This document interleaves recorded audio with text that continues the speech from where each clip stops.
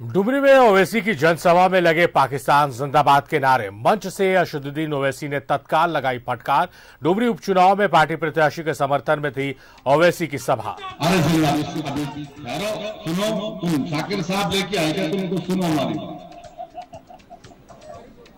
वहाँ पर हमारे सदर को बिठाया उस सात साल के बच्चे के वालिद से, पिता से हमने बात की।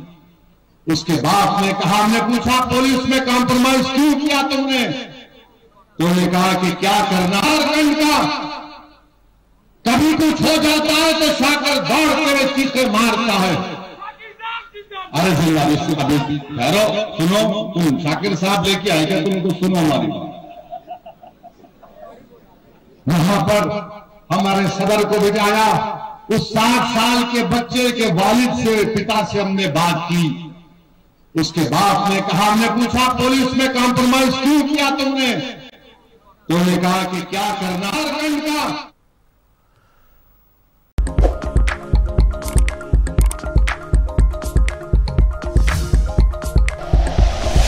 Like and share videos, subscribe करें हमारा चैनल और प्रेस करें बेल आइकॉन न्यूज़ 11 भारत सच है तो दिखेगा।